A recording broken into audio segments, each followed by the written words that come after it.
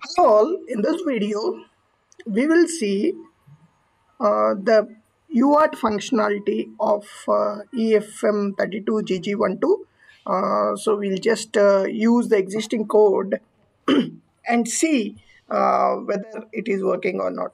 So one of the beauty of these uh, libraries that are supported by manufacturers is that mm, we can use them as is without any changes and just try out a very very useful one for uh, students and uh, beginners. And uh, you can uh, um, build your code on top of it. So now let us start. Click and then we'll just try to open the schematic and uh, we will see what actually uh, we are using. So this is the EFM32 uh, chipset if you see here uh, there is something called VCOM so if you see this is the VCOM pins.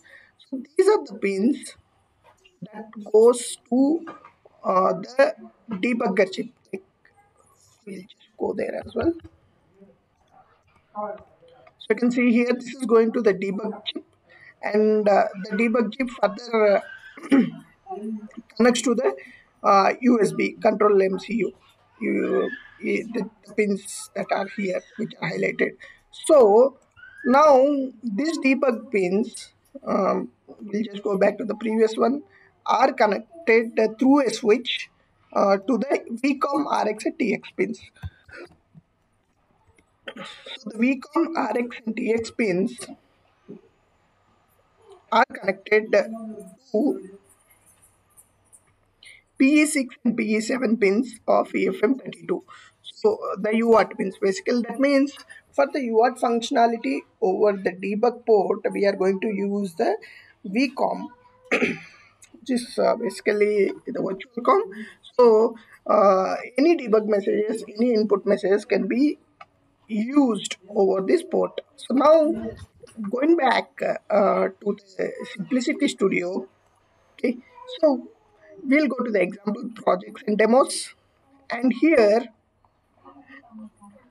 we will try to take uh, the existing uh, um, bare metal user type stream. So if you remember, we had uh, low power UART and also uh, a UART um, options in FM32. So this universal synchronous asynchronous receiver transmitter is a block which has several things associated with it. It had it has UART, SPI, uh, all these associated with the UART.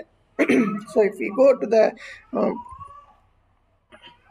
data sheet, we can we can see those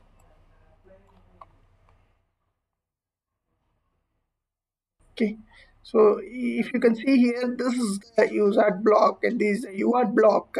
So these are two different uh, things. Um, and uh, right now, uh, we are using uh, the UART for this particular functionality. And uh, um, so this uh, bare metal programming um, is already done for the UART communication over virtual com. You can see here a clear description is also given.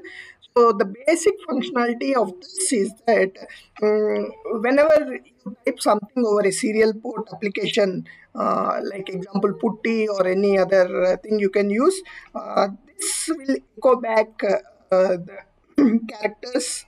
Uh, that means let us assume we type hello on the serial port, the same hello will be uh, mm, received back by the uh, serial application. And then you can see here the VCOM serial port can be used either over USB um, or connecting to the port 4902 um, if the kit is connected via Ethernet. So we are not using Ethernet here, so we'll be using the debug USB port. That's where we have connected uh, mm, this uh, chip.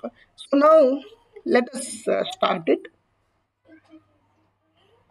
and uh, let's uh, click finish because we don't want to configure too much. This is a sample application that we are trying out. so once uh, uh, it is in this page, we see that uh, the files have been created. So in the main.c, functions, if you see, they look similar.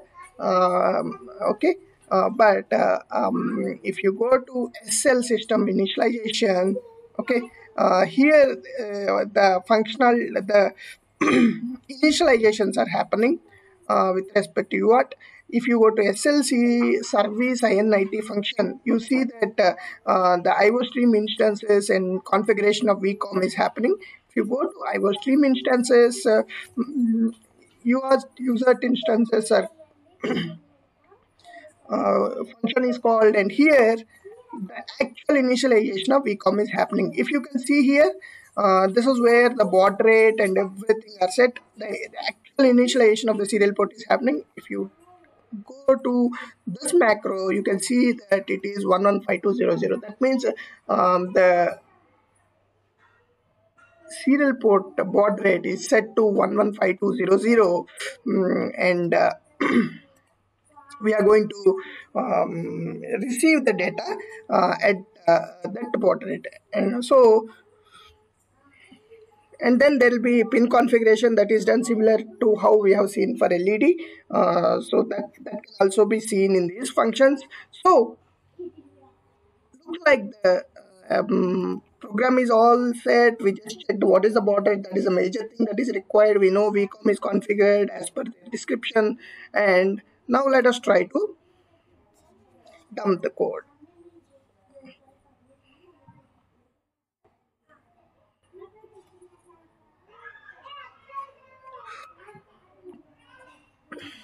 The code is ready. And here what we'll do is we'll open putty. Okay? Putty is a uh, serial uh, we can use for serial terminal. And uh, right now the COM port is 3 here and the baud rate is 115200 and when you open this you can see uh, the serial port has happened but you do not see anything. So why don't we see anything here is um, if you see here uh, this program is in debug mode and it is not running. Uh, like so let us just try to uh, resume the operation. That means resume um, the code uh, uh, running.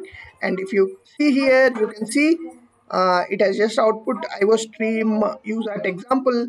This is the output on default stream and printf uses the default stream as long as iostream uh, retarget stdio is included. So let us assume we will put our uh, youtube channel name. You you can see here or efm32gg12 see? So we said that this is an echo um, um, program where once uh, you type something and uh, um, that the same thing will be echoed back if you can just go to while one for your reference and then use the process uh, the your process. You can see here whatever the um, characters that we are receiving are just sent back. Oh um, and then uh, you, you, can see in the printf you are uh, writing you wrote. So if you want you can change this. Uh, instead of euro you can change. And then you can also write your own uh, uh, code here. Uh, you can also process the inputs collect the characters here itself without putting to output collect the characters process like example if you say 2 plus 3 example uh, so based on the um, sign that is received you can do an addition operation in this function and then output. So we are just giving an example here. So we can play around with different things. You can also change the baud rates um, and then uh, you can also try to configure different UART rather than VCOM port and try to see uh, how it is behaving. Uh, different things can be played out, but uh, so right now what we are doing is we are just trying to um, bring out uh, a simple um, explanation of how it can be done. Uh, you can play around by starting from the scratch without having all these uh, struggle to write your own program and then you can learn by yourself. So um, try it out on your own. You can see here uh, the, this from this function we are uh, seeing those uh, standard outputs on the iostream you, we have seen iostream USART example. So you can change the string whatever you are uh, trying to print. And this sl iostream write is what uh, is writing to the standard output here. So, um, hope um, this just gave an introduction on how um, uh, the UART um, default example that is there in uh, the Simplicity Studio is working. Just try different configurations and try um, different uh, options of uh, outputting the data and then also collecting the data and checking the data, uh, giving the output. So all these kind of things can be done in your program.